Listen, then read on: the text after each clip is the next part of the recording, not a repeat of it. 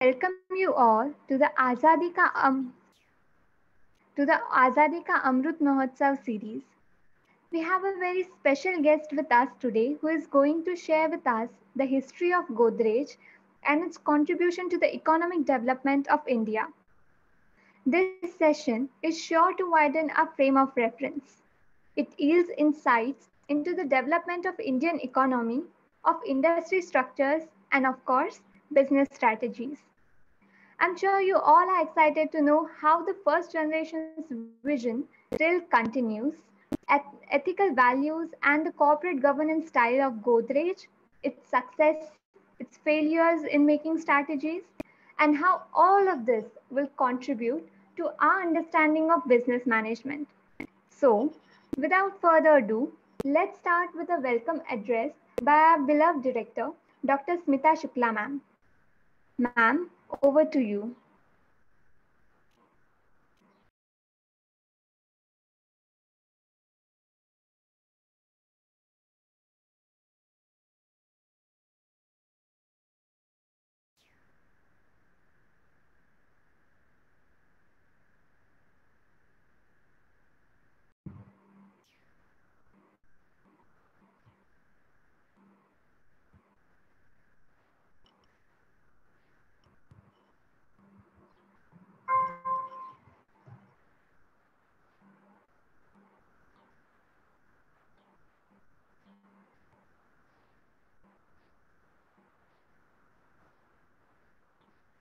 Uh, Smita ma'am, can you hear me?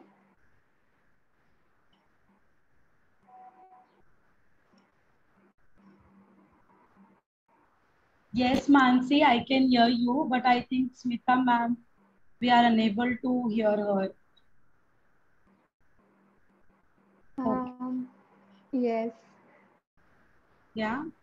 Okay. So. Um, all right, ma'am. Uh,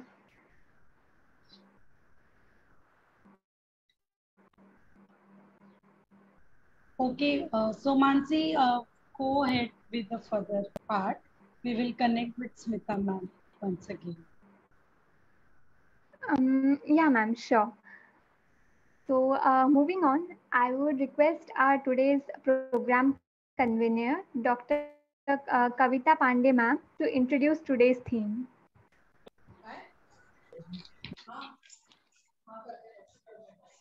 Smita ma'am, can you hear us? Hello. Yes, yes, ma'am. We request you to have your welcome address. I'm not able to hear anything.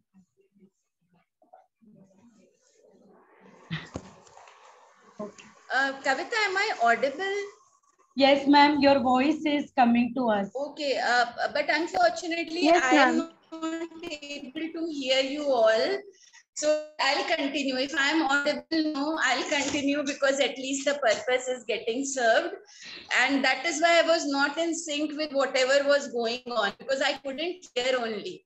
So uh, first of all, on behalf of the institution, I welcome uh, Vrunda Pathare madam for giving consent to speak today to the management students and also the participants, invited participants who are interested in knowing more about this topic. The topic is extremely, extremely relevant uh, because when we refer to uh, 75 years of completion of uh, uh, you know uh, our independence, there is so much uh, in, in history which we still little know about and specifically when we refer to business history there is such little awareness which is existing in india regarding you know, uh, business history of uh, various business houses. Whether business houses themselves are sensitive enough and do realize the importance of documenting business history even that is one dilemma which i hold just to share a narrative yesterday i was in another city um, uh, the city is kanpur from where the house of singhania's jk house started. Uh, uh, this this business group is known most for the raymond brand and they uh, started their business journey from the city of kanpur uh, where their original setup is located in one of uh, no very uh, what should I say uh, tiny and extremely crowded lanes of Kanpur.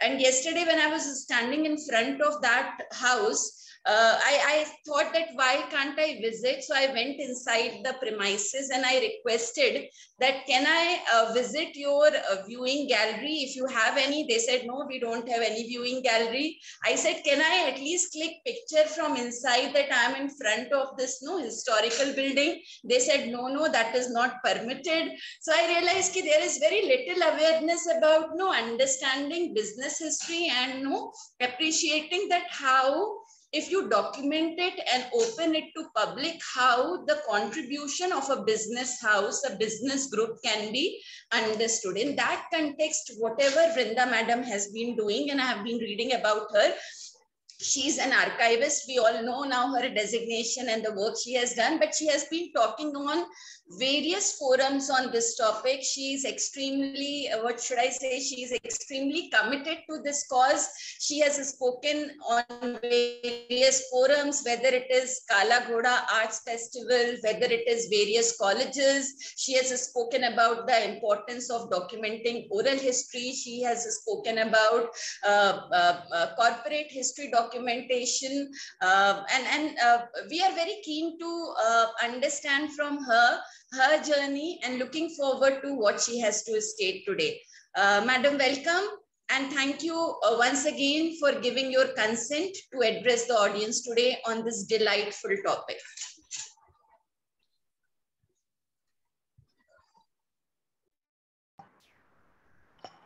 Thank you, Smita ma'am. Thank you for your kind words and a warm welcome. Mm. Kavita ma'am, and now I would request you to introduce today's theme so that we can carry on with the program.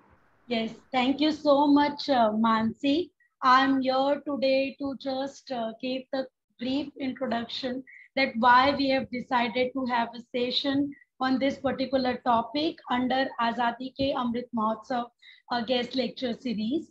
Uh, I'm very thankful first and foremost to Dr. Smita Shukla and the institution for giving me lots of opportunities to explore uh, my ideas in terms of new sessions to be initiated at the institution.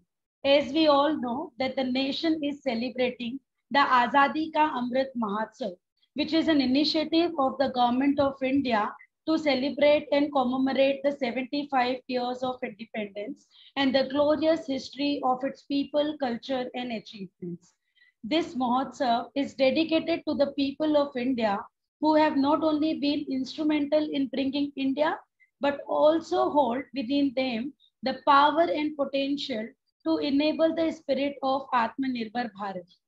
In the words of Firoza Godrej, who is an art historian, environmentalist, and writer, I quote, it is an accepted fact that our roots, genesis, and past play a powerful role in determining our present as also our future.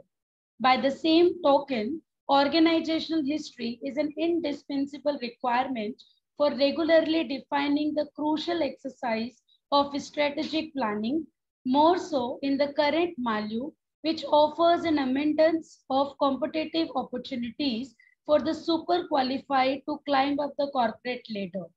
Hence, Records of all aspects, successes as well as failures, serve as a guiding lights to help steer an organization into the future.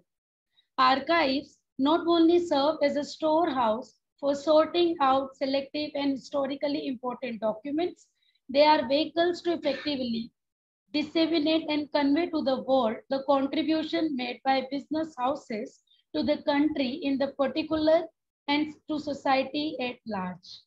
Godrej Archives is the business archives of Godrej Group. The archives collects, preserves, and manages records covering 125 years of the company's history.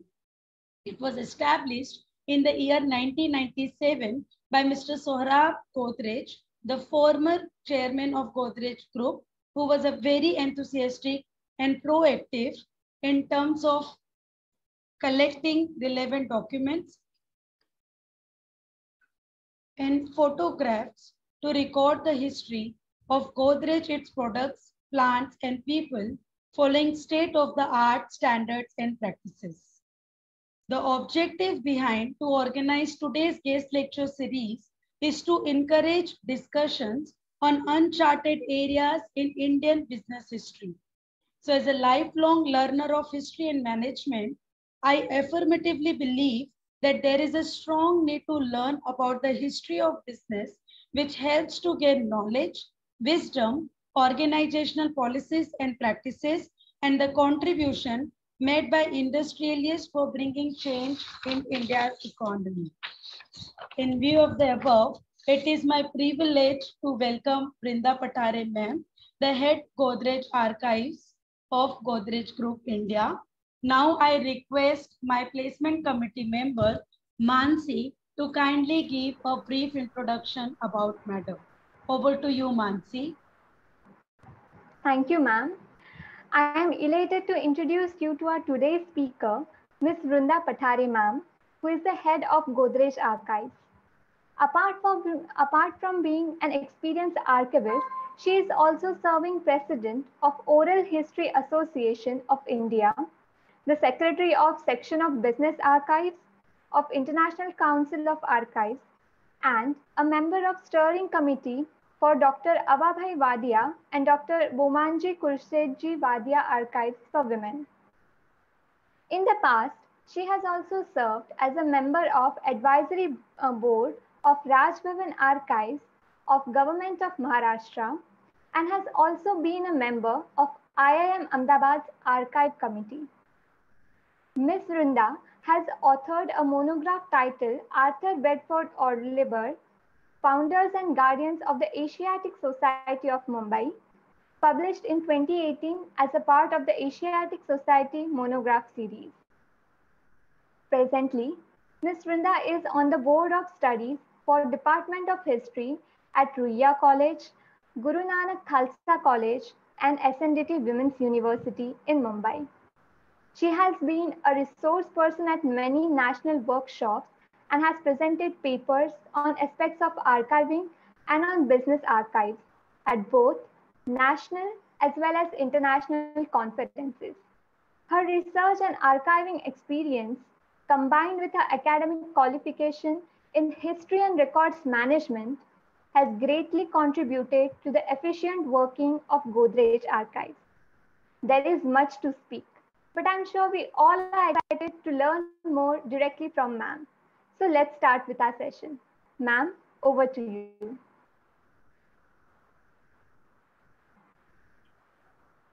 Thank you everyone. And uh, first of all, thank you, Dr. Smita Shukla, the director of at the Alkesh Dinesh Mody Institute, uh, and also Dr. Kavita Pandey for inviting me today. And it's really a great pleasure, especially to talk about Godrej, especially in its 125th year.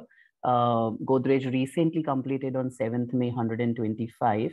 And, uh, you know, it, it's really when one tries to actually really dig deeper uh, into the reasons why actually such companies have endured for, say, uh, you know, centuries, more than a century, uh, one actually realizes that it is actually the core strengths of the company, uh, also the DNA, which are the value systems that these kind of companies have really evolved over a period of time, that actually really inspire such companies to thrive for uh, this kind of you know a span of life.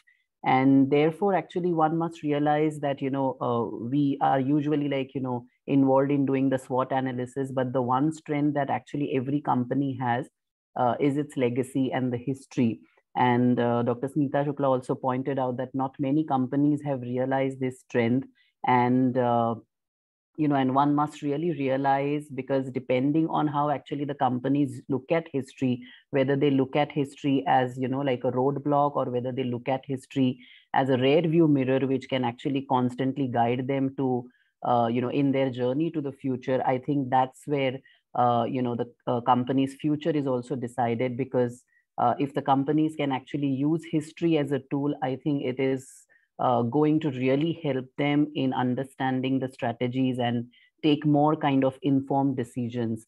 And uh, therefore, it is really exciting to talk about this um, in your series. So thank you for giving me this opportunity. And in 2006, when I was, you know, when I started actually setting up the Godrej archives, uh, I started up reading like, you know, more on business history and its evolution uh, as a branch of, you know, academics, especially in India. And I realized that the very foundation of business history was actually laid uh, at the Management Institute. You know, IIM Ahmedabad was the one which actually pioneered business history uh, in India. And hence I was really thrilled to, uh, you know, speak today at another management institute, which, which was actually showing very keen interest in business history.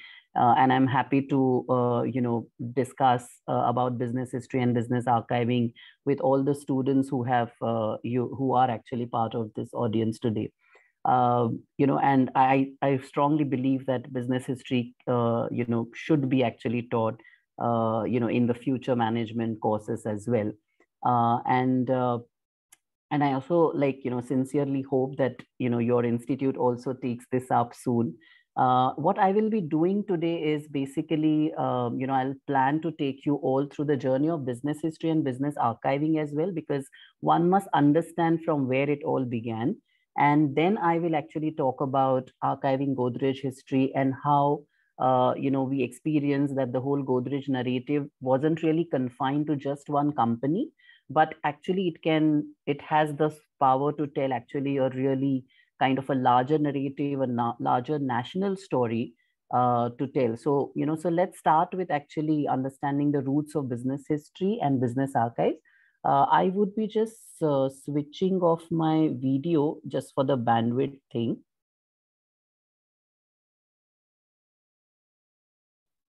Uh, so yeah so let's start with understanding uh, you know where actually it start, started why basically the business archives are really very important. Uh, the post globalization scenario if you like look at in our country uh, we have all you know witnessed the accelerated economic growth. There was rapid urbanization.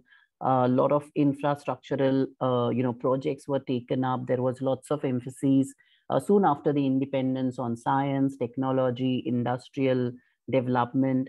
Uh, and also in the recent past, we have also seen, uh, you know, the growth of information technology.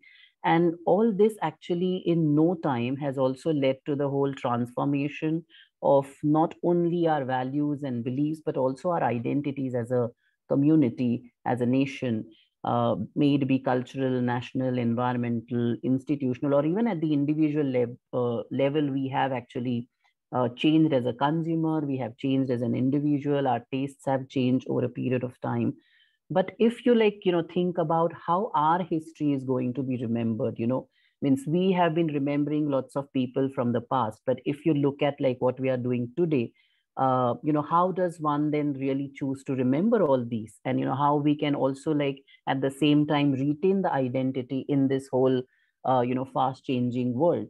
And this is where actually the legacy and history or the institutions like archives or museums play uh, a very important role because identity is really very closely uh, you know related to the shared past a shared memory.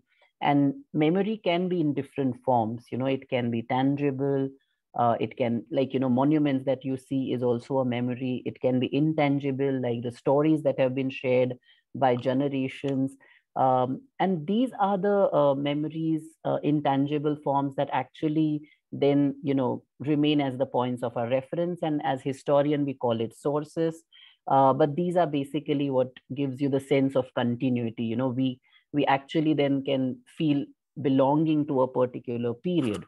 Um, and therefore it is really very necessary not just for the nation but also for an organization or even an institution or even like a university uh, which is an institution to actually record uh, you know their thought process you know how they have evolved over a period of time what kind of learnings they had uh, you know achieved you know through throughout their journey what they have learned what they have given back to the society all this actually should be recorded. It can be through documents, it can be through manuscript, letters, photos, uh, and even in the you know in today's world, even like the social media blogs uh, or even emails, everything actually reflect on what we are doing. And I think you know we must really think about how we can actually record this information that we are creating on such a rapid uh, pace. And also you know it's almost like we are bombarded with information overload every day. And we must seriously really now think that how we are going to be remembered uh, by the future generations because um, this information if not saved today uh, is going to otherwise disappear and be forgotten. And then there would be you know no history of us. And therefore uh, you know we must think about like archives are also very important not just from the national history point of view but also from the institutional or the corporate uh, point of view as well because uh, you know institutionalization of information is not really very common in india. You know we don't give due attention to the documentation and hence therefore we find ourselves fighting for the patents like haldi because we have never really paid attention to uh, documenting every detail uh, and businesses are no exception to this um, however businesses are now also responsible uh, to nation people and also the environment besides their capital stock and stake shareholders and therefore uh, every organization regardless uh, of its size, uh, you know, which is amassing a wealth of knowledge over time. And, you know, even individual experiences of employees who are dealing with different kinds of situation on an everyday basis.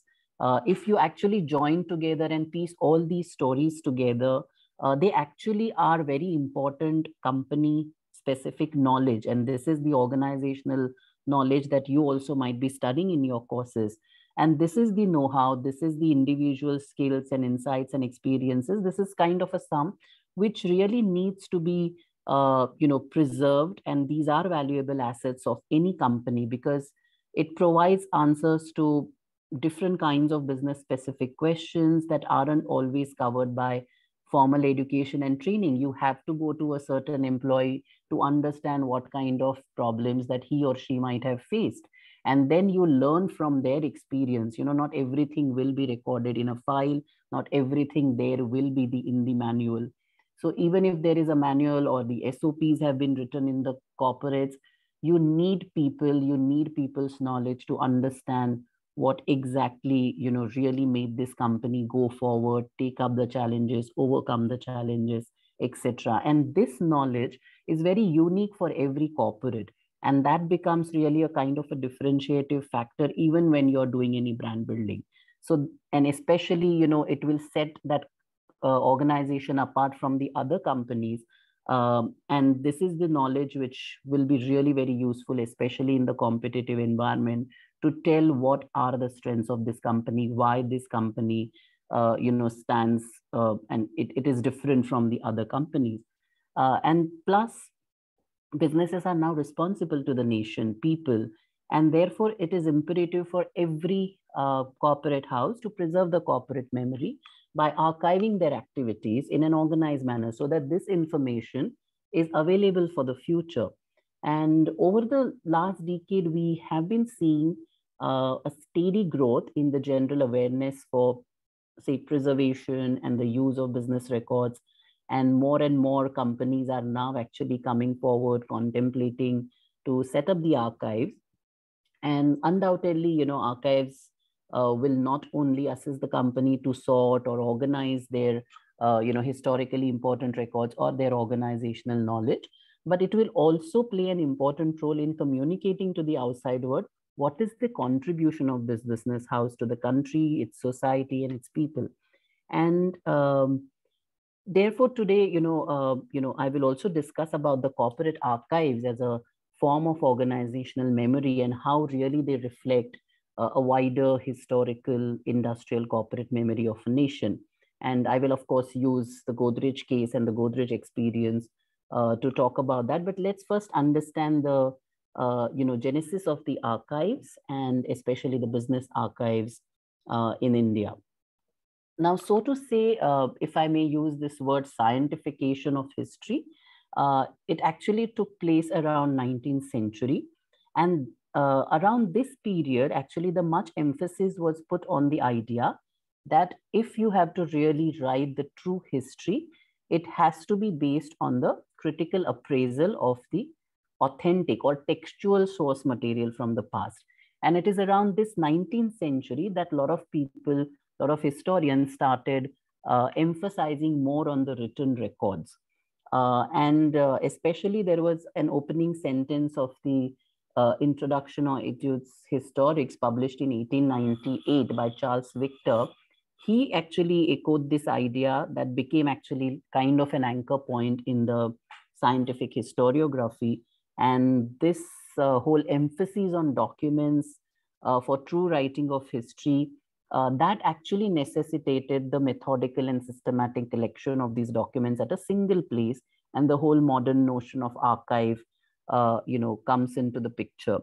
Uh, so this is basically how actually the whole uh, approach towards the historiography the change in that actually leads to uh, more emphasis on the written document and the whole uh, importance of the archives as such. Um, and but however, if you look at India, we were not really averse to the record keeping because idea of archives in the modern sense, of course, was introduced to us um, and the product of the colonial period. But in India, the tradition of archiving memory goes a long way.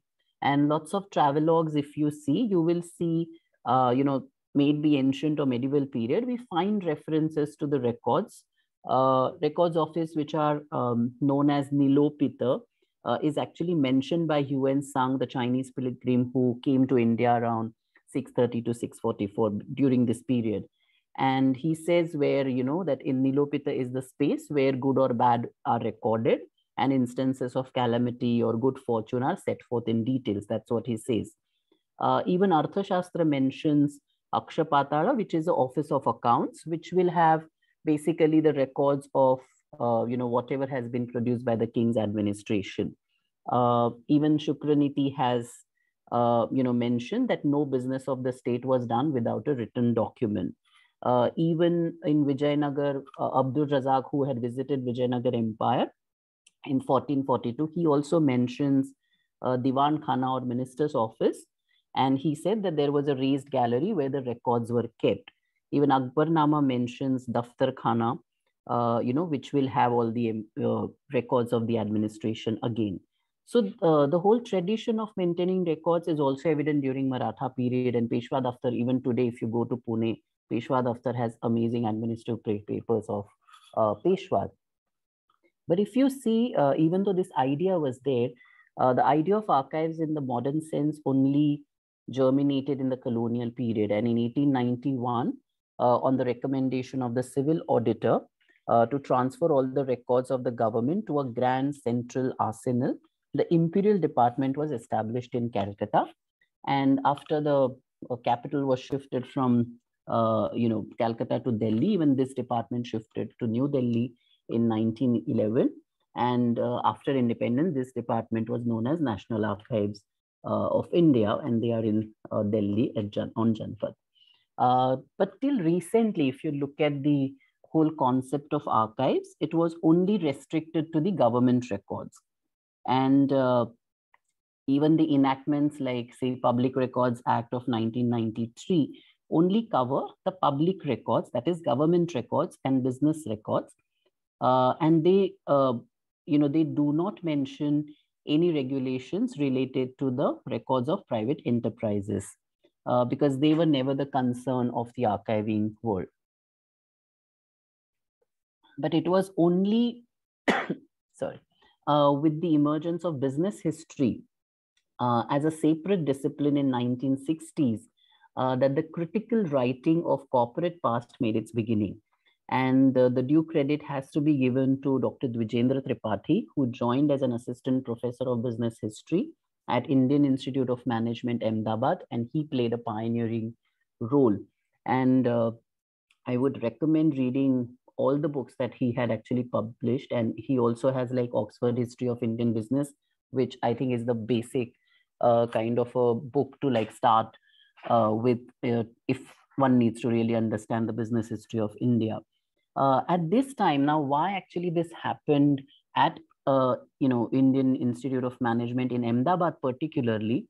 Uh, and therefore, we must actually look into the founding of business history um, as an individual and academic pursuit uh, how actually it got established internationally. And uh, the credit must be given to Wallace Donham, who served as a dean of the Harvard Business School from 1919 to 1942. So Harvard Business School actually has a great tradition of business history, almost a century old tradition of business history, uh, because they believe in the case study uh, approach to the management studies.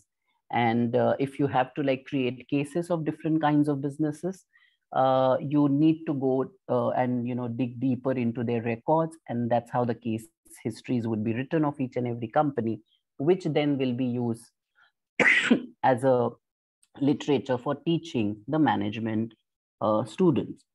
Uh, sorry, my throat is actually not well, so I would be taking pauses.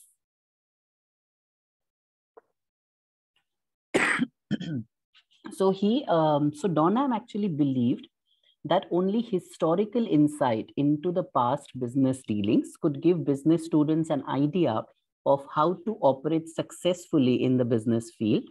And during his tenure, Harvard rose to the center for the world of business history. Now, during this period, uh, business history remained, remained confined to company history. But then the arrival of Alfred Chandler Jr. on the scene in mid 50s brought uh, in a more comprehensive approach to the study of business. And by 1960s, business historians started reconsidering the definition of business history and broadened the meaning and the scope of business history beyond company history. Now, this was the same time when business education laid its foundation uh, you know, in India with the creation of Indian Institute of Management, Ahmedabad in 1961. Uh, and there was an initial collaboration with the Harvard Business School. Uh, and they also, IMA also was influenced by the Institute's approach to education uh, through case studies and the new course in the subject of business history was introduced. And uh, Dr. Dwijendra Tripathi, a business historian, of course, was appointed then. And he soon realized that business history is not really adequately written in absence of records and encourage businessmen and business houses to preserve their records. Because what he observed was that the literature available on the subject if one needs to really write a case on business uh, it he realized that literature is not really substantial. So you can see that there were lots of mercantile tailings, merchant family genealogies were available, jati histories, community histories were available. There were also a lot of biographical writings on the entrepreneurs. There were also Smriti Granth or Abhinandan Granth, which were like commemorative texts for a particular entrepreneur or a particular business family. So all these things was there, but they were not really uh, sufficient enough to uh, or the substantial enough to talk about the business and the you know uh, you cannot really uh, do historical inquiries into business uh, just on the basis of this. Uh, the other literature mostly consisted of biographies or memoirs of prominent businessmen or souvenir volumes which usually the companies only publish. However these works if you know company themselves is publishing a biography or a company history it definitely suffers from narcissism because there is there will be a lack of objectivity as they will be written in most cases by either businessmen themselves or the authors who are commissioned by the company and therefore really you cannot really rely on everything that is being said over there so what happened was in 1966 uh, in the 37th session of the indian historical records commission the first ever discussion was held on the sources and problems of business history in India. And business records created by business houses um, constitute the valuable source material, but they were not really easily available for the researcher, is what everyone really agreed upon. Now, reason for their unavailability is twofold. Uh, first, the indifference on part of business houses to upkeep of records and information, because that's not the priority. Of course, with now concepts like business excellence or ISO, they have to maintain certain records. But then these are almost like lots of things are like technical records that have been kept or like financial records that have been kept. But there is no kind of a system in any company whereby you can choose a very historically important record other than all these things which are actually uh, mandatory by law to keep for certain years, uh, they don't really have a system of like collecting these kind of records. And so thus the absence of, and secondly, actually, you know, if at all they have collected the records, they are really not available for everyone to access it because they will be closely guarded in the strong rooms of the business houses and hence they will be definitely out of uh, reach of researchers. So thus the absence of the organized archives of business houses in India provides an explanation for the reluctance of scholars also to take up these kind of histories, you know, because uh, because there is no records easily available, lot or not lot of business histories have been written uh, in India. Uh, but Dr. Tripathi's persistent effort actually led to this resolution, which actually stated that all necessary steps should be taken to identify the list of business houses that may be willing to make their records available for research, or if they require any help in matter of cataloging or preserving, so that these holdings are easily accessible by researchers. So that was his great contribution. And by this time, actually, there was already uh, a business archive has come up, which was Tata Group of Companies had established Tata Central Archives at Pune, and also Tata Iron and Steel Archives had come up at Jamshedpur. Godrej was also set, you know, planning to set up the archives around that time uh, because the whole idea had germinated when they were celebrating centenary in 1997. Uh, so the first business archives was started when Tata Group of Companies established Tata Central Archives in 1991. Tata Iron and Steel came up in 93. Godrej, uh, you know, thought of establishing in 1997, but formally started in 2006. Among the banking sector, if you see Reserve Bank of India uh, is actually the oldest archives, which started in 1981, which uh, it is also uh, in Pune. And then State Bank of India Archives and Museum located in Calcutta was started in 2007. And around this time, National Archives also realized the relevance of business record, and then they also organized a seminar in 2008 to discuss the prospects for business archives in India. And if you see over the last decade, uh, last two decades, I would say, sorry, there has been a growing interest in preservation of business records. And uh, almost actually 50 companies uh, including banks actually uh, you know were present at the international conference on business archives that was organized by the reserve bank of india uh, jointly with the international council of archives and national archives of india in 2017 when godrej organized a similar conference there were already six seven companies that have initiated setting up of their archives and uh, if you see Today, we have Cipla, a global pharmaceutical company, which has set up their archives in Mumbai Central. In 2014, we have DCM Shriram, uh, Dr. Reddy's, Wipro, Bajaj, They also now have the archives. Uh, Birlas have just uh, started at Taloja, and even Kirloskar is, I think, work in progress. Uh, but if you see, because considering that there are 58 top Indian companies that have been listed in the Forbes Global 2000 ranking for say 2017. And even among the those which are not listed on this list, many have completed 50 years of their existence and still we do not have archives of these companies who have completed 50 years. Uh, so therefore, it is still a challenge to establish the value of the archives for business environment and for the business archivists in India. Uh, so now I would just, uh, you know, quickly take you through how Godrej Archive started. So as I was telling you, in the centenary year in 1997, Saurabh Godrej, uh, the chairman of Go the Godrej Group then, he envisioned archives to be a heritage center offering invaluable archival material for reference and research.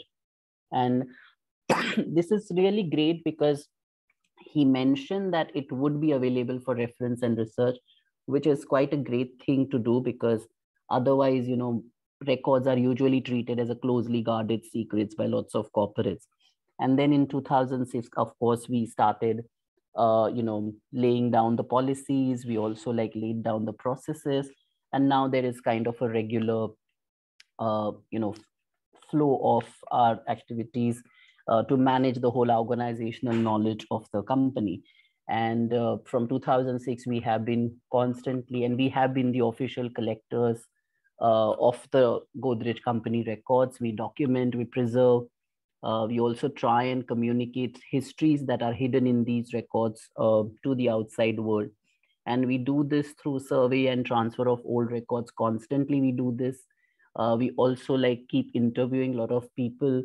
Uh, we have now interviewed more than 300 people, uh, employees in our company, including, of course, dealers as well uh, you know, just to record their experiences. Uh, we also uh, have a dedicated cataloging unit. We have a storage space because all this is needed when you are actually archiving the history uh, of any institution. And then we also, to take care and conserve these records, we now have a dedicated digital lab as well as a conservation lab. Uh, so this is what basically uh, we do. Uh, but when actually um, you know we were actually going through this record or whenever we are actually collecting these records we realized that um, we were gathering not just the story of the corporate through records but the stories of individuals who keep impacting the products uh, or even processes of business who are also affected by every product and the business strategy so what we do is basically we are trying to understand the history of products history of people and history of processes and people uh, that make the Indian corporate world. And they can be consisting of entrepreneurs, designers, engineers, suppliers, workers, dealers, distributors, uh, even the market, the consumers. Uh, all these individuals collectively, if you start, you know, thinking about their stories, they are actually part of this whole corporate narrative because corporations are not going to function in isolation. They too operate in social spaces and no one can deny the influence that the business has on lives of its own employees and stakeholders but also on its consumers and their patterns of consumption in turn even these societal values and the economic developments from the outside world they will also be constantly impacting so there will be always this give and take between the corporate and the society around or the environment around and that is very interesting to look at when you're looking at any corporate uh, history. And uh, uh, that's when we actually realize that, you know, we need to be more inclusive and all these stories should come. Uh, but now let's see how actually, uh, you know, when we were looking at Godrej history, we actually started mapping even the national narrative around. so here it actually all began uh, because Godrej's story began as an individual's response to the Swadeshi spirit of the era. Uh, if you like, you know, go back to your school curriculums, you definitely must be remembering the Swadeshi movement. And that actually has not just, and whenever we actually talk about Swadeshi movement, we only talk about the boycott of foreign goods. But then what were the alternatives available for our Indian consumers if we were boycotting foreign goods? That's when actually the different story comes into picture where entrepreneurs, Indian entrepreneurs, were manufacturing those things and who were inspired and influenced by the whole Swadeshi spirit of the era that actually, uh, you know, contributed to the pre-colonial, industri- post-colonial industrial activity uh, because they also dreamt of new resurgent India, self-reliant India, and uh, Business Archive collection at Godrej Archives not only captures these facets, uh, but it really highlights how actually such entrepreneurs and companies were responding to all these political and economic conditions or even these events that were taking place. Now here there is only one interview that we have that Ardeshir ever given to the press.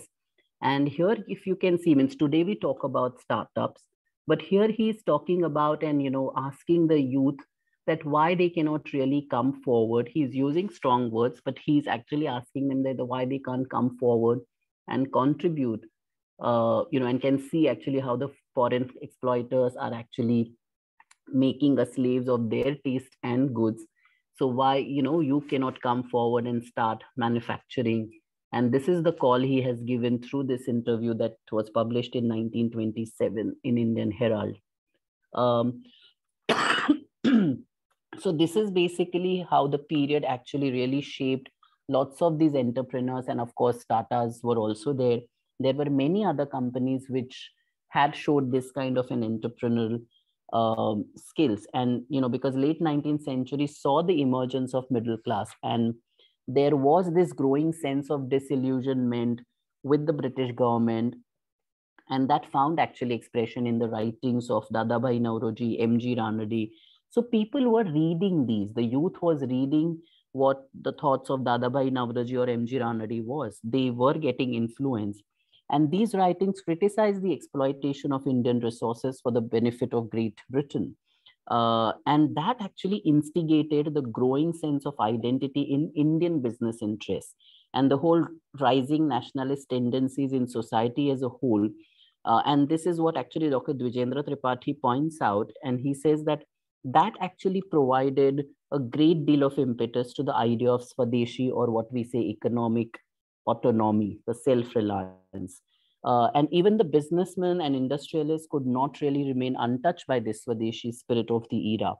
And Ardeshir, especially, Ardeshir Godrej, the founder of Godrej Group, he was swayed in by Dadabhai Naoroji's writings uh, and his drain of wealth if you remember this book uh, actually talks about that and um, Ardeshir really strongly believed after reading his uh, writings uh, that political independence will be really meaningless without economic independence and in order to achieve this india must reduce its dependence on the west now with this belief he actually started manufacturing locks in the year 1897 and then of course he went on to make safes uh, and security equipment. Uh, and then, of course, created uh, the Godrej toilet soaps from vegetable oil.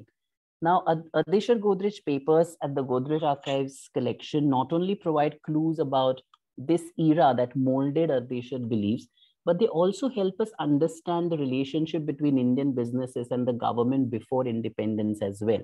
So, in a way, we were actually trying to be like self-reliant, but also all the businesses were also complying with all the Western methods that actually made the businesses more organized. Like uh, really flaunted in one of the catalogs of 1925 that you know they are using uh, really a great machinery, the quality is good, and their whole emphasis on quality is really striking. And they are actually using really modern methods of even advertising, uh, for safes, he was actually ready to conduct the public fire test for his safe. Uh, you know, lots of uh, burglary kind of test also he had done in the public spaces. So it is very interesting to see, uh, you know, this whole negotiation between the colonial uh, requirements and the Indian businesses, even though we were also fighting for uh, our freedom and uh, and lots of government uh, offices were also buying from these companies later, but I'll come to that later.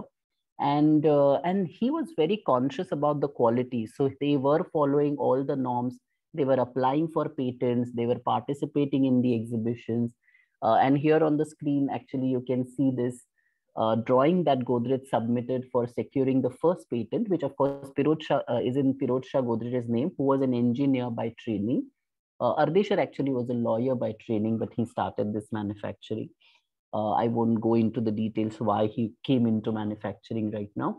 Uh, but uh, but this is how actually these two brothers uh, started. But their constant emphasis on quality is something which is really very interesting to look at because what they believed was like even though it is the Indian alternative that we are providing for the other products, uh, they shouldn't be considered inferior by anyone. So it has to be like really matching the international quality. So even though it is like, you know, Indian alternative we are creating, that doesn't mean that we are not creating a superior product. And that's the emphasis which you actually can see in these manufacturers. So they are following all the norms. Uh, they are, as I was saying, applying for patents. Uh, you know, and they were, you know, uh, participating in exhibitions, winning the awards in that. And they were actually using lots of testimonials through their catalogs, uh, which is a really interesting kind of uh, organization structure that you see, even though it was a traditionally managed company then. Godrej only got incorporated in 1932. But till then, it was a traditionally managed company. And uh, they were still doing all these uh, you know managerial expectations that one has from the businesses uh, very efficiently even during this time. Uh, after locks and safes, uh, actually moved on to manufacture soaps. Uh, and that also again has a connection with the Swadeshi um, movement because Indian National Congress, uh, when they actually appeal to lots of you know people to boycott the foreign goods, and at, around that time, around 1910, early 20th century, there was a lot of influx of foreign-made soaps that was flooding the Indian markets. Realizing this, Indian National Congress made an appeal that we should boycott these foreign soaps. And uh, however, they also realized that we need an alternative to be created. So they also appeal to manufacturers, uh, you know, to have a kind of an alternative and they should start manufacturing soaps indigenously. And around this time, like, uh, you know, already in 1901, Bengal Chemicals had started uh, in 1918, around the same time when Ardeshir Godrej was making soaps with vegetable oil, Swastik oil mill started. So all these companies that were actually coming up uh, were actually the response to the Swadeshi movement and the response to the call that Indian National Congress was making that we need entrepreneurs to come forward and create this kind of a, a industry where we can actually make available the Indian alternatives as far as the consumer goods are concerned. And that's how actually it started. And of course uh, initially we had Rabindranath Tagore, Annie Besant, because they were the heroes of that time and they were advertising for the Godrej soaps, which were considered to be Swadeshi soaps.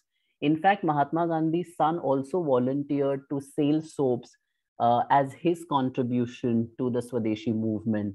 Uh, and I don't know how many of you have seen the uh, film Gandhi, My Father, and that actually shows uh, Mahatma Gandhi's son selling the Godrej soaps. So this is how actually the manufacturers and companies have played their significant role even in the national movement. Of course, the heroes changed and around 50s, we have started seeing that lots of soap manufacturers started using the celebrities to advertise um, their product. And here is Madhubala advertising for Godrej Vatni soap uh, in 1950s that you can see over here. But again, going back to the period when uh, you know lots of banking has actually also started gaining importance. So in around like late 19th century, already the uh, bank world has been established in the city of Mumbai, and uh, Central Bank of India, which was the first Indian commercial bank. Uh, that was wholly owned and managed by Indians, and that is really very interesting to look at this development of banking sector also in India uh, is an another kind of an interesting historical narrative to uh, actually look at. And uh, so when they actually shifted to this building, if you have gone to Hutatma Chowk, you will see this building. Uh, so they moved to this building in 1921 and they came up with this little booklet, The New Home of the Central Bank of India. And uh, because Godrej had supplied all the safes, which you can see on the right, at their cash counter, uh, you know, this booklet actually found its way to our Godrej Archives collection. Now, this is really very interesting to look at how the banking sector and this product safe actually goes hand in hand. So both their stories really uh, align with each other. And therefore, to understand the product also means to understand a national narrative that was taking place in that particular time. Soon, the whole concept of safe vaults came, and then the Godrej Patent Strong Vault uh, became actually part of the banks. If even today, if you go to any nationalized banks, if you go to the vaults, I don't know how many of you have seen the safe deposit vaults, but do go and check. You will still find lots of, uh, you know, Godrej patent strong vault doors and the vault rooms that were created by Godrej and supplied to these banks, um, you know, since 1930s. If you see, like this is the Times of India article uh, from 1936 and this is basically, uh, you know, saying that the Godrej Patent Strong Vault at the Bank of India was actually established. Even the Surat's first safe deposit actually vault came for to which, uh, because if you look at even Gujarat and especially Surat, there are lots of these privately owned safe deposit vaults as well. And it is also very interesting to study to look at that how people feel assured even to keep their things in a privately owned safe deposit vaults. And it is really amazing that even that began in 1930s because lots of diamond merchants were there and they couldn't really follow the bank timings. Therefore, all these privately owned safe deposit vaults actually came into the picture. And this is really very interesting thing to look at. And actually, uh, you know, this kind of a case study would be really very interesting to look at. Even at Karachi, there was a safe deposit vault. So if you see 30s, suddenly you see these kind of changes that were taking place in the uh, banking sector. And there is a company which is manufacturing these things and how they are responding. So how actually the products uh, and these kind of requirements that the market has actually goes hand in hand. So the product development you cannot really uh, you know look at in a very isolated kind of a uh, you know way as well. You have to take all these things into consideration how the market was behaving what kind of consumer requirement actually popped up during that period.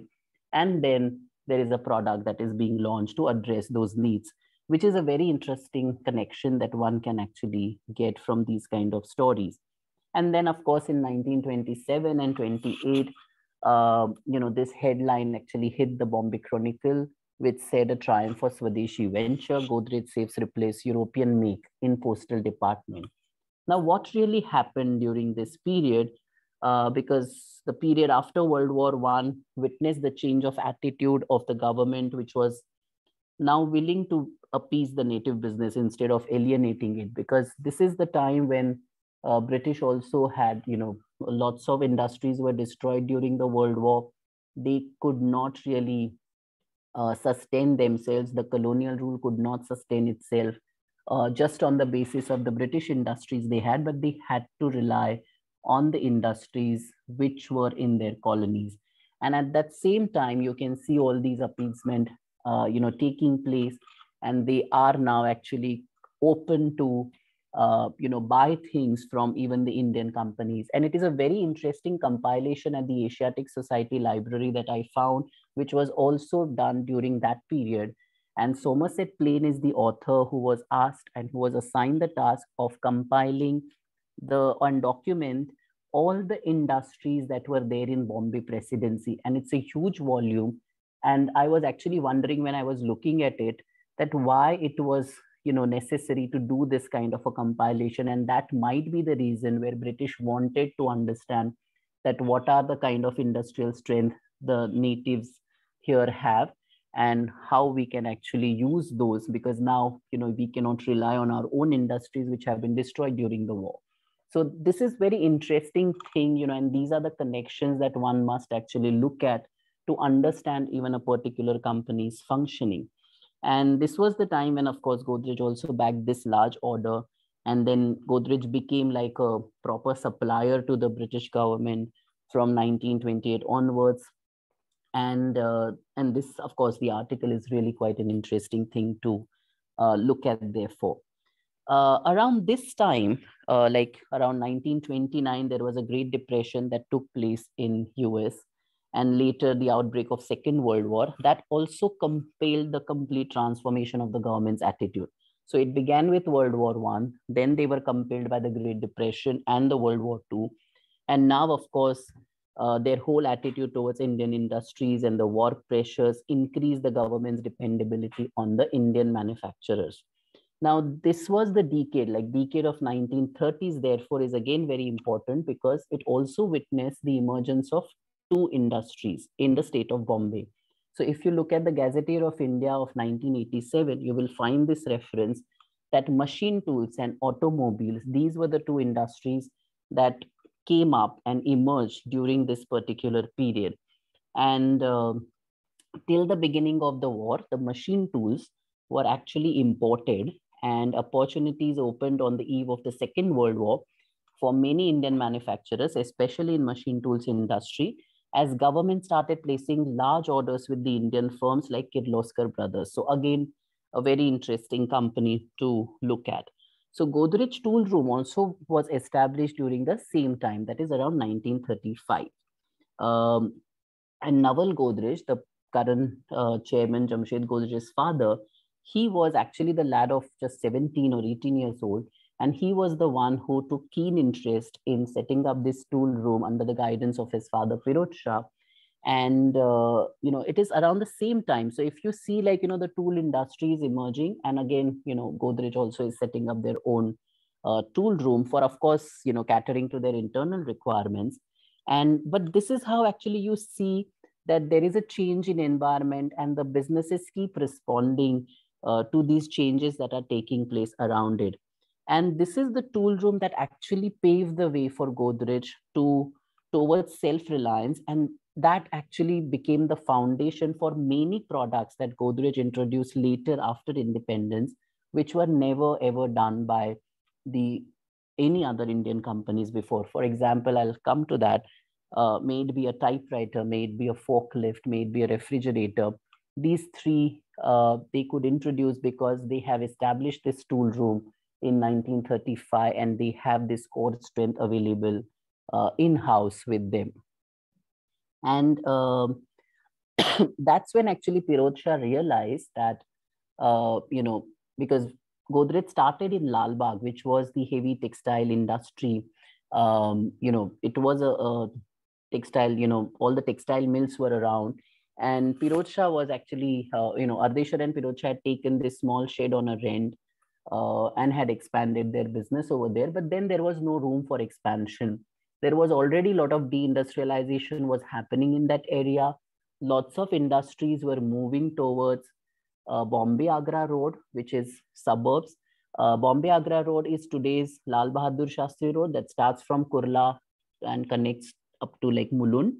Uh, on that whole stretch if you see even today if you go on that lbs road you will see all these remnants remnants of all the old industries that uh, you know started uh, being established over there uh, around 40s and 50s.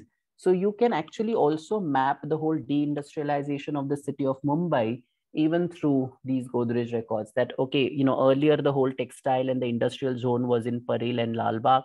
It moved to the LBS road later in 50s and 60s.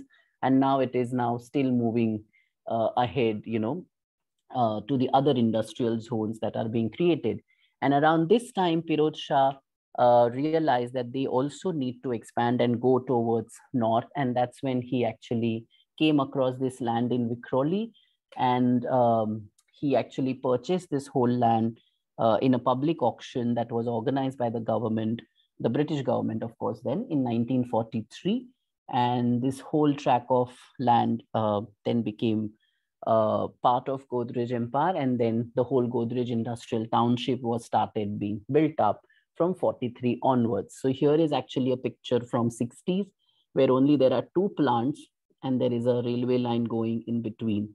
Uh, and then of course, Pirojsha also thought about the welfare of his workers and he also started um, the residential colony for them, schools, hospitals, everything that was part of this whole township planning. Uh, so this is how actually uh, the whole Vikhroli chapter started for Godrej. Just. Yeah. So this is actually, uh, which actually brings us to, uh, you know, the period just before the independence or, you know, when we actually achieved independence. So what really, uh, you know, happened after independence to uh, these industries?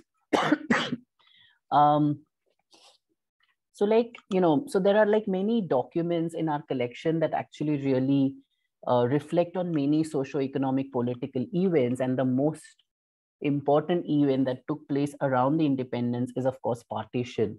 And we never thought that you know these kind of documents would be available with us because we are like you know mumbai is very away from the northwest frontier which actually was witnessing the partition. But then we came across these documents and they really tell you a lot because in 1949 two years after the independence uh, one of our sales manager is writing to all the uh, dispatch departments that you know now everything that we would be sending to Karachi because we had a dealer in Karachi then uh, has to have a label called Made in India. Now this is a very small change that was taking place because earlier Karachi was part of India and the dealers everything we had a network over there. But now suddenly because the country was divided into two nations, we have to now put made in India label while sending it to uh, Karachi. We also had to apply for the export license. Uh, but this uh, political event also had an impact on lots of people uh, who were working, uh, you know, on that side of the nation. And suddenly there is one uh, circular which is again sent by Mr. R.K. Sanjana, the manager, and he is talking about a mechanic who used to work with our Karachi dealer, and he has decided to join, you know, like Indian uh, Union. And once he comes here, what kind of job options would be available for him? So therefore, this manager is writing to all our branches and the dealers whether you know you have any such opportunities for him because he is now coming here and he will of course need a job. Uh, and so these are the kind of impact that you see uh, of a particular political event that was taking place and then suddenly you know you are actually talking about it. There is also a very uh, kind of a touching circular that we found where punjab national bank is asking uh, the quick delivery of the safe deposit was because people were afraid of their belongings while you know uh, shifting their homes during the partition and they were depositing lots of their valuable with the bank. So bank was actually in need of lots of safe deposit lockers. And they were like insisting and emphasizing and writing to godrej that please send us as soon as possible you know uh, all these kind of lockers that we need now. So these are very interesting things that you look at uh, and understand that you know how actually even the company is part of this whole uh, thing that was happening and they cannot remain really isolated and then, of course, this is a very interesting uh, product that went out of Vikhroli. The first product that went out of Vikhroli was the ballot box, uh, which was the special order uh, that was placed upon um, us by, uh, you know, the functioning government then. Uh, just before the election, we got this order to manufacture ballot boxes for the first election of independent India that were to take place from 51 and 52 and there was only one plant then, which you can see here on this newspaper clipping. Uh, that was plant one, and the building still exists on the campus, uh, and where actually the whole ballot boxes actually started. Uh, I can actually play this for you. Just let me know if you can hear it. Started mm-hmm. in mm-hmm. making ballot boxes. Okay. Then we shifted, when we all shifted -huh. there, as a big order for ballot boxes came in. Okay. Plant one was. Who else? Yeah.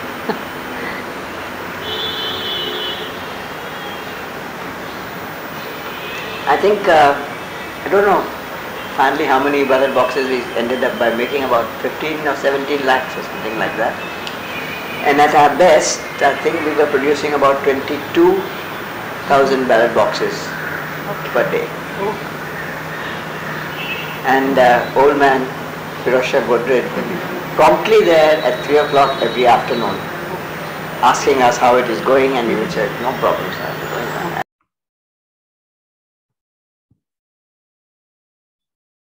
So this is how actually, you know, um, the historical narrative cannot be really complete without these individual memories. Um, and therefore, when we interviewed Thanewala, he was so excited to, you know, talk about this whole manufacturing of the ballot box um, and therefore actually you know it is very much needed for every company to look at their employees as uh, you know the knowledge bearers and they are actually uh, you know to be recorded. And because otherwise you know their experiences would just go out of the company once they resign or retire.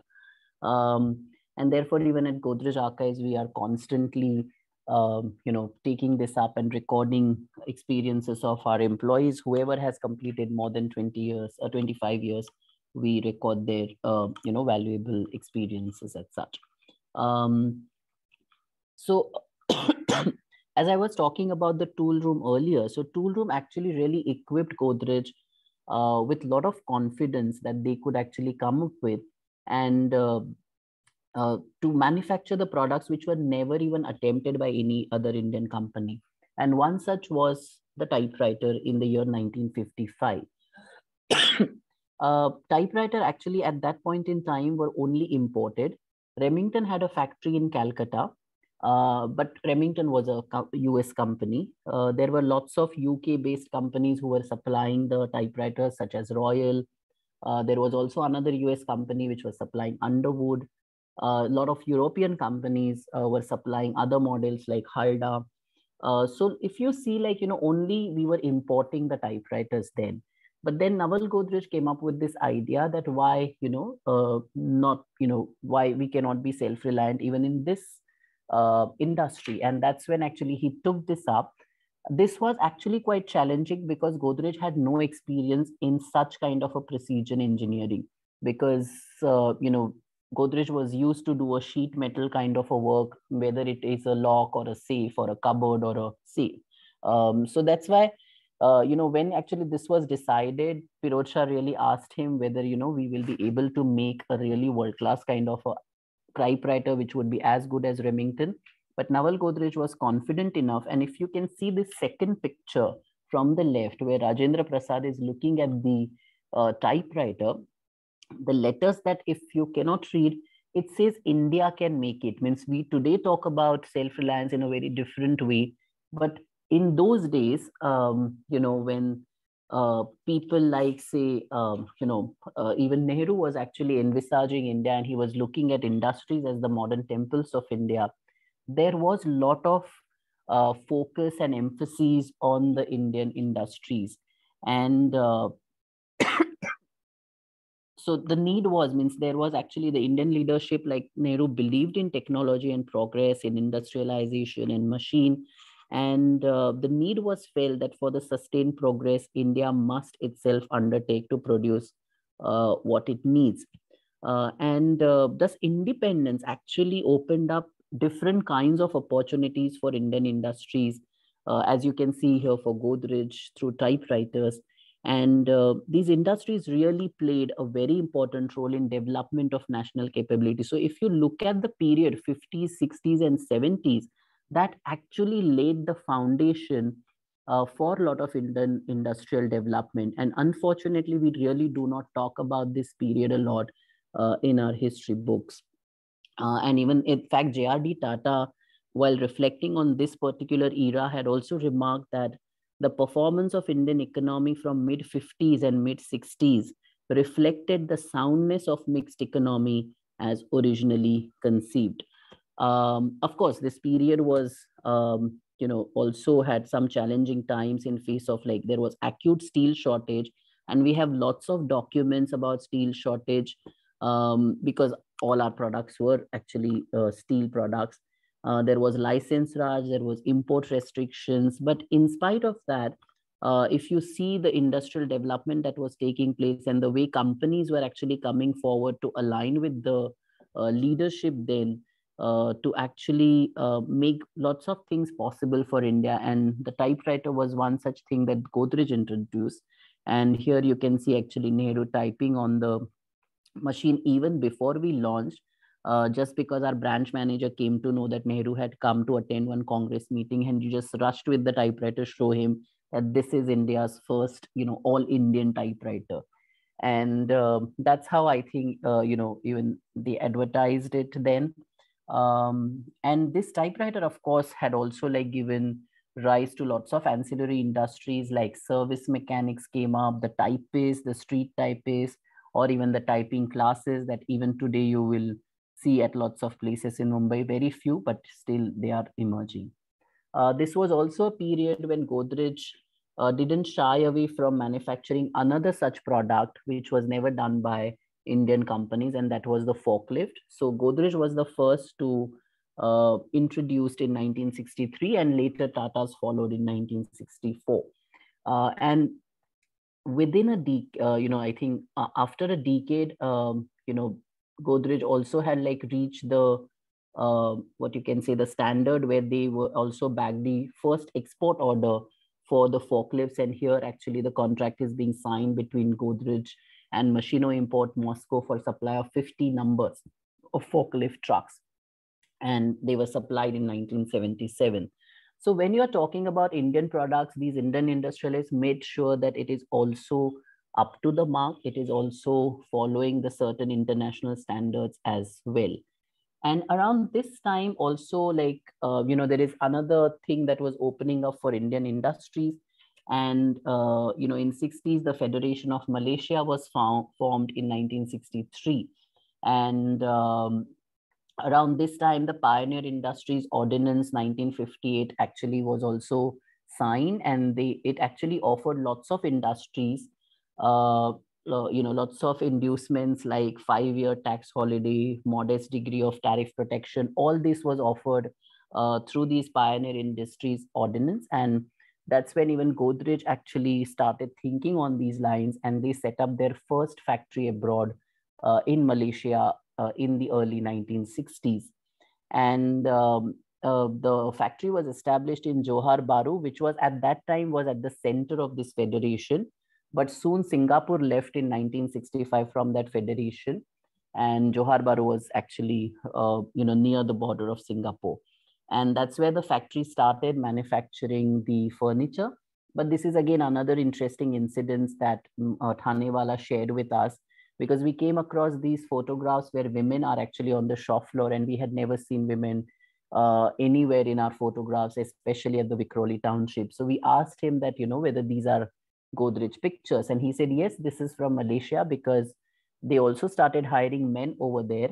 But then there was one, uh, you know, manager from uh, Fiat assembly plant uh, called Rene, and he actually had come to meet Mr. Thanewala, and he said that if you want to really profit uh, in Malaysia, don't hire men, start hiring women because they are actually the productivity rate uh, is much higher in them, and uh, that's how actually uh, you know Malaysia plant started hiring women, and uh, so this is also very interesting to look at because how actually the local conditions can actually make you change certain policies uh, you know of recruitment as well. Uh, and this is another uh, you know episode that also was taking place because suddenly there is a uh, you know foundation of the professional management education uh, was done in 1960s and suddenly even godrej thought that they should also go professional way uh, and at that time they started hiring management trainees and this is from iim ahmedabad archives monthly snippets and where they have described that how uh, you know these management trainees which were recruited in late 60s in Godrej, uh, you know they were um, uh, how they were encouraged, uh, you know when they were actually performed well. Uh, you can actually look at also the IIM archives site, which is a very interesting archives um, talking about the institutional history. And this whole change you know from the traditionally managed company to the professionally managed company you can actually see here after coming of these management trainees from six, late 60s onwards. And uh, here you can see suddenly there is a change in the financial year of the company from calendar year to the fiscal year. So these kind of changes started coming up. We started regularly hiring management trainees from IIM Ahmedabad in those years and this was also a period when lots of new uh, office spaces were coming up. We were also catering lots of furniture to these kind of new office spaces that were emerging. Nariman Point was being developed in 60s. And at that time, Godrej also uh, started entering into the architectural fabrication business. And here actually you can see lots of aluminum uh, framing, windows, and doors were supplied to lots of buildings that were coming up in India. Uh, to give you a few examples, the Hotel Trident, which um, uh, the Oberoi's earlier, that had all the aluminium fabrication work done by Godrej. Uh, TIFR, Tata Institute of Fundamental Research, had the aluminium fabrication done by Godrej.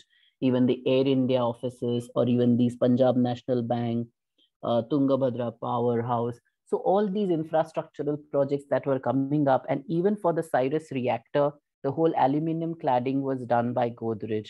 So if you see like, you know, as India also like, you know, changed over a period of time, you can also see how, uh, you know, the company's journey also is taking place uh, in alignment with all those developments. And then of course, the computers uh, were introduced in 70s uh, in the office spaces. Of course, the personal computers only came during the Rajiv Gandhi's regime uh, that was in 90s. Uh, but before that, you know, the professional computers had already uh, been there in 70s and 80s. And here actually we could get uh, from the interview which we had with another employee, Mr. P.N. Devdhar, and he spoke about this whole computer department that was set up in 70s uh, and how the experience was because today we may not think about it 32 k bytes. Uh, that's how the memory they were actually dealing with then. Um, so this is a really very interesting to see how even the office spaces have changed. And there should be also a history of office spaces office environments because there actually a lot of people spend most of their time. And we are not really chronicling that kind of a history that what really happens in office what really like you know kind of an office environment is and these kind of studies really need to be taken that how office culture how the hr policies how the processes have changed over a period of time. Because because of this computer that were introduced the, even the attendance system we had seen changing in godrej. So there were token systems earlier then the data was fed into these kind of computers and then the salaries would be generated. Today we have swipe machines so how these kind of processes have evolved, it could be uh, a very wonderful study to actually look at. And then of course the consumerism started uh, and lots of products, uh, you know, the middle class actually their purchase power started increasing. And that's how actually, you know, you see these kind of consumer products became really popular, especially in 80s. Uh, and that actually needed a lot of strong dealers network which also like this professional managers which uh, Godrej started actually hiring. They really started thinking about how to develop and penetrate the regional markets. And Naval Godrej and Dr. Hathi, who actually initiated that program of recruiting from management institutes, they actually traveled across India, selected dealers, and this dealer network in 80s was really strong and because of this dealers network, even companies like GE were looking forward in 90s to collaborate with uh, Godrej, especially in the appliances because of the penetration that Godrej enjoyed into the markets then. Uh, and then, of course, we have lots of interesting uh, dealer stories. I won't go into details of this, but even dealers actually have really very interesting uh, history because this is one, uh, you know, dealer from Assam who actually shared his story that how his grandfather actually came when from Rajasthan to Assam when he heard about uh, you know oil was struck. And it is really mind boggling because today in the google world you know that okay something happened in this corner we know. But in those period like you know three generations before how actually a person sitting in rajasthan knows about that oil has been struck in assam and then he you know leaves everything in rajasthan and comes to assam just to sell that bucket full of oil uh, and how he actually you know starts his business and then goes into automobile dealership and then comes into the Godrej dealership. It is a fascinating entrepreneurial story that we actually started understanding when we started interacting with dealers. And there are multiple such stories all across India about these small scale businessmen. Uh, and they are really very interesting to look at. Uh, the another thing that happened, and you know, I'm just like reaching towards conclusion. Um, so this is actually a major contribution, I must say, that Godrej had uh, during 70s because of the tool room, because of the typewriter. Now Godrej had the confidence into the precision engineering. And around that time, ISRO was looking for partners in Indian industries because there was lots of restrictions on the foreign exchange uh, ISRO, even if they wanted to take the technology from outside, from the Western world, it was very expensive. And therefore, ISRO was trying to see that how we can develop it indigenously. And at that time, they needed support from the Indian industries. And they choose MTAR from Hyderabad and Godrej from Mumbai uh, to collaborate with. They had actually a consortium. Uh, and then uh, they started giving, uh, you know, uh, placing orders for satellite components that started with in 1970s. First, actually, the fractionating trays, then satellite components, and then Godrej got the uh, order for manufacturing Vikas engine for the satellite launching vehicle. And um, by 93, we had already supplied the first Vikas engine. Today, we have supplied more than hundreds. We are also into cryogenic engine. Godrej also developed lots of technologies for ISRO, including rotary vacuum raising facility and expander, which are not available in the world, in not uh, you know in many countries in the world. And it is really like a, a you know a proud thing for Godrej to say that you know they have these two uh, technologies that they developed for uh, ISRO. And um, this is what we actually got to know from Mr. Datar. He's no more now, but we had interviewed him and he said that, uh, you know, how they developed the expander in one fifth of the cost that US was offering for. They just learned the technology and they experimented over here under the guidance of ISRO engineers. And that's how they were successful. Here you can see Abdul Kalam taking one of the uh, deliveries um, when he was with DRDL. Uh, so now, of course, Godrej is manufacturing lots of uh, products for defense as well. So how actually from securing locks coming to securing the borders of the nation, Godrej had actually really, uh, you know, covered the a really interesting kind of a graph and their journey is really quite an interesting uh, one. And uh, but everything is actually uh, you know can only be chronicled if we start chronicling the history of people because uh, every company is made of people. People have contributed people have made these products you know and people have actually planned these kind of processes have applied the strategies uh, are the brain behind it. So therefore uh, people's stories is what something that you know archives is always uh, interested. And, you know, if you have seen, and these are actually the Navganis who are the loaders who uh, actually carry the products from one place to the another. So they are like the movers for us. Uh, and they are also working with Godrej. This is the fourth generation, third or fourth generation working with us. And this is the first batch that joined in 40s. And their story is also talking about Indian economy and about the role the migration plays uh, in economy uh, because they are from this uh, village called Fadadewadi near Pune. And uh, because, uh, you know, there was lots of dependence on the rains, uh, they couldn't really rely on the, you know, farming for sustaining their lives. And therefore they started looking out for jobs in the industrial towns and the cities like Mumbai. And they came to Mumbai and they started working with Godrej. And then, of course, like three generations uh, in a row they are working with godrej still. So and then now of course uh, you know in later years godrej developed them as the entrepreneurs so now they are like movers and the transport suppliers. So they have now become vendors to the godrej. So you know by being a worker in the company to this journey i think it's a very interesting graph to look at and how actually they themselves also contributed to their own village is also quite an interesting story to look at. So how actually, you know, these connections, uh, histories can make to different kinds of things is really, uh, you know, wonderful to look at. And this is really evident, you know, if you have seen like how external events and how even the stakeholders have an enduring impact on the character of the business, you know, because the business's character is being shaped by these people, these events that are taking place around. And this whole constant interaction between the society and the corporate entity actually can help uh, get a better understanding of a corporate landscape of any nation. And hence uh, i would again say that you know corporate history is not just a single story of a single business group but it is actually the collection of stories bringing forth the multiple perspectives of corporate life. And you know the information available in diverse form it may be correspondence catalogs advertisements packaging, memorabilia.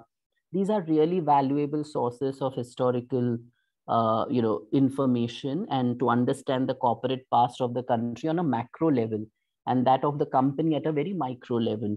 Uh, and therefore, the comprehensive understanding of history really is very important through all these sources. And that's how actually one can understand and dig deeper into the corporate ethos and that's what actually will make the future managers to take informed decisions if they are aware of all these connections with the past.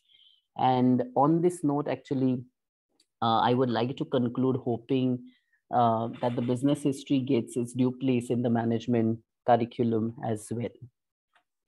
Uh, that's all from me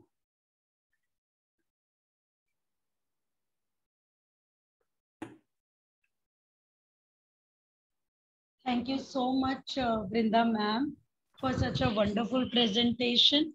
And uh, it was uh, very, very enlightening and in terms of bridging the gap, which basically known uh, between industry academia kind of a relationship.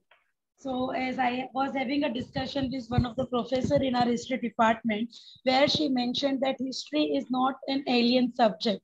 Whatever, wherever, whichever discipline you go, history is there. And today, actually, you have put your words accordingly and make it clear.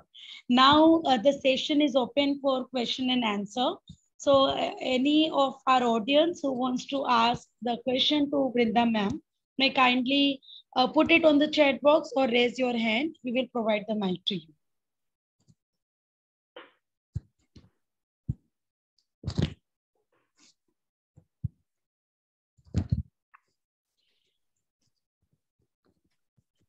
So, uh, Vrunda ma'am, one uh, uh, mm -hmm. suggestion I need from your side. Yeah. Uh, as I handle the campus placement of my institutions. Mm-hmm. And here I I understood that how I IIM Ahmedabad was the one who pioneered and then Godrej took it further. So how uh, you suggest the management institutions placement cell to incorporate uh, the mindset of these young managers uh, to come and start making their career in the business history perspective? Um, means you mean to say uh, career in business history or career in management? Uh, ma'am, career in business history, of course. See, I would actually say, uh, even if you're not really doing a career in business history, I think, you know, even realizing the importance of business history while taking the managerial decisions, I think that's something which all the management people or any any person who is working in this kind of corporate environment should look at. Because i think you know what when we talk about history it is not just about the nostalgia. But what i'm talking when i say history it is actually more like a historical thinking. You know like you have to put this thinking to the problem solving methods that you might be applying in your corporate life. And you know how actually you will arrive at the informed decision is by actually tracing uh, what had happened before in such particular you know in particular situations like these if they are facing anything uh, you know what product might have worked in the past what you know how the markets have behaved in the past how they will now. So all these kind of you know connections that the management people have to make. So you know like career in business history would depend on you know what kind of interest that person has. So i may not be you know the right person to talk about it. But what i would say that you know looking at history don't really like you know uh, you know say it or brush it away by saying that it is about past. It is actually not just about the past. You are not really looking backwards. And this is the constant lament even we hear from the lot of managers that you know we don't want to look back. We want to go ahead. But then it is like a rear view mirror you know. You you don't have to like look back but you have to keep constantly looking at the rear view mirror so that you know your journey on the road is safe uh, and that's something i think you know every manager should understand that historical thinking and use history as a tool to have an informed decision so that you can actually reimagine the future of the company in a better way. So it's not really like you know making career in business history but applying the historical thinking to whatever you are doing is i think currently what we need because uh, most of the problems that india today is facing is because we are not really learning from it uh, and that's something, you know, I would just like to say that over here. Agree, ma'am. So, ma'am, I can see there is a question uh, from Nandita Moitra, Dr. Nandita Moitra, ma'am. And uh, ma'am is asking that if there is any archival material on contribution of Godrej company to environmental conservation. Uh, yeah, very few actually. Um, you know, the whole, uh, the department means we actually have lots of files where when the industrial township was being set up and they actually were taking conscious decision of how you know the environment needs to be built uh, how it should be the green environment. Um, there are very few records right now uh, because some of the departments you know uh, as it happens like they have thrown away certain records because they had no space. Uh, but we have actually lots of uh, records and especially like uh, now because there is an awareness uh, you know a lot of awards that they have won. For example we have in our collection uh, indira gandhi paryavaran puraskar that godrej had uh, received uh, for their contribution to the environment. Uh, even like there are few records where actually how the whole mangroves that are being like right now conserved by godrej which are adjacent to their um, you know whole Vikhroli campus and part of their whole property but how they are actually maintaining it preserving it and actually conserving it all those all that kind of a data is available. But we have very few uh, documents related to it but yes but we have um, enough to like showcase what kind of contribution godrej has made. Uh, there okay. is another question about archival material in on banking sector. Um, actually because godrej uh, wasn't really into the banking sector we don't have much. But wherever we have supplied uh, to the banks the products like safes or the safe deposit vaults even the testimonials that we get from a lot of banks uh, those are the things that we have. For example the brochure that you have seen of central bank of india uh, those kind of things we have. So wherever we were actually interacting with banks uh, that material we have or wherever we have supplied to the banks that kind of archival material we uh, have. And some of the uh, you know times of india newspaper clippings that talk about the whole safe deposit lockers the advertisements uh, those kind of things um, you know we have which actually indirectly talk about the banking sector.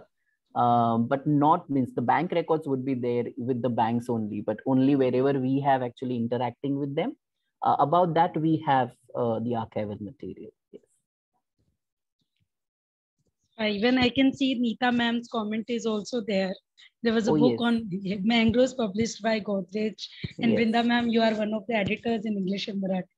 That's what uh, she has mentioned. Here. Actually, very long time back that was published. Uh, there was a, a, book on flora and fauna of mangroves. And I think it's a very interesting compilation um, you know to look at but now of course mangroves has an app so you can actually check all the flora and fauna on the app itself so yeah Okay, so it's uh, now the time for uh, concluding the session. So I request our today's chairperson, Dr. Smita Shukla ma'am, to give her chairperson remarks. Over to you, Smita ma'am. Hello. Yes, ma'am. I'm, uh, okay. Uh, I could finally hear after you know, changing the setting of my phone. So I could hear you, Vrunda madam, talking all along. Okay. And uh, enjoyed every minute of the uh, session whatever you spoke about and you uh, gave the overview of relevance of business history even while answering the questions you uh, uh, conveyed in your response the same that as a business management student why it is important and and, and what what it adds uh, in terms of value. Uh, in addition to that, uh, uh, as, as a faculty who teaches business management, I feel what is also important for us is to set any kind of no business decision problem solving exercise in context of the history.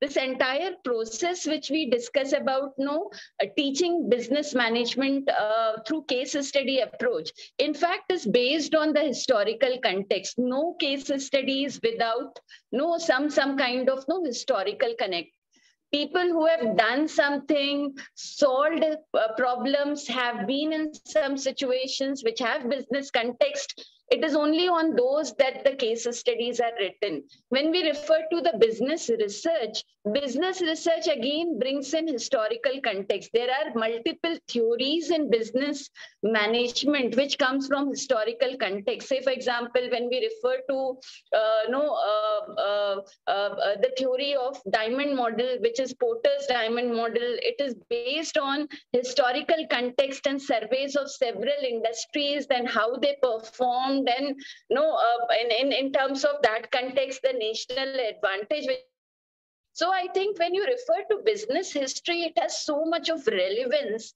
uh, in management education. Only thing is conveying this that why it is important and that you could do beautifully in your session.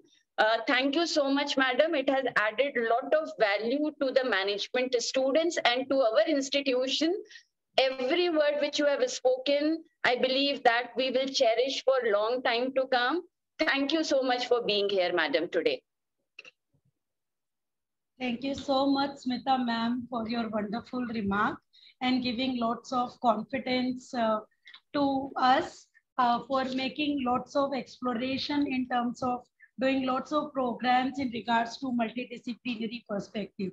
So business history was one of the attempt which uh, as an institution uh, we had tried to build it up and it's very successful to hear uh, Vrunda Pathare ma'am's words about not only the 125 years of history of Godrej but also the history of business history.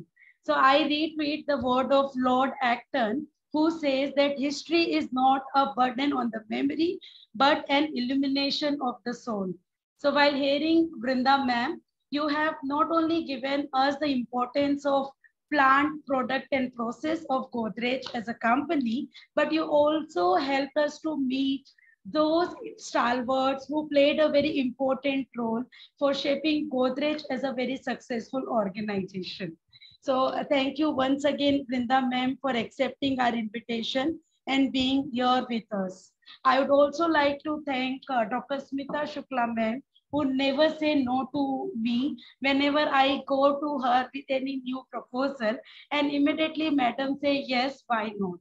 And this is how today we came up with the series of Azadi Ke Amrit Mahotsav. And Vrunda ma'am, you have become the opening batsman for us. And such a wonderful inning you have played today while delivering a wonderful session in our today's program. I'm also very thankful to all my students team, the UCC of Mumbai University for providing us the Zoom platform for organizing uh, this, pro for helping us to organize this program very successful. I'm also very thankful uh, to the respected faculty colleagues from different colleges and especially in University, Nita Khanpekar ma'am from History Department, University of Mumbai, Prof. Dr. Ramesh Yamkar sir uh, from uh, Goregaon Patkar College.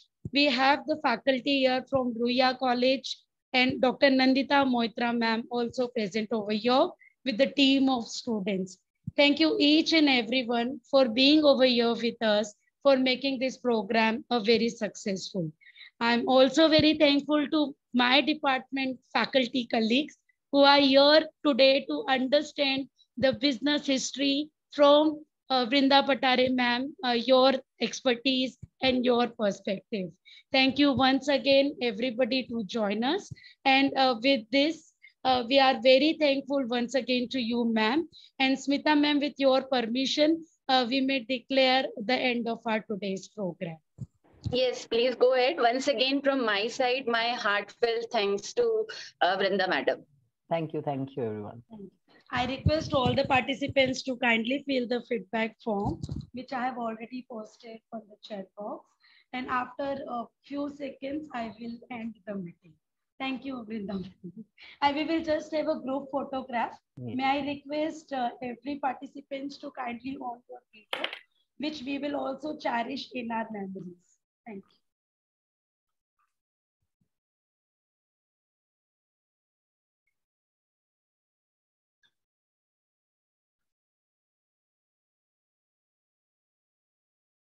Mansi, can you do this? I am also clicking, but I also request.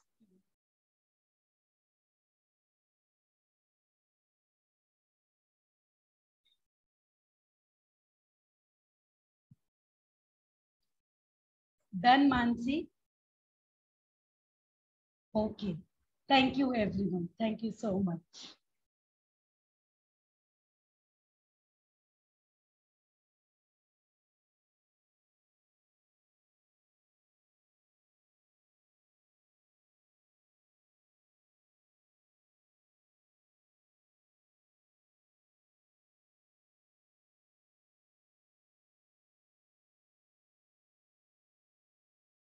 Yes, Samina ma'am, I can see your hand is raised now.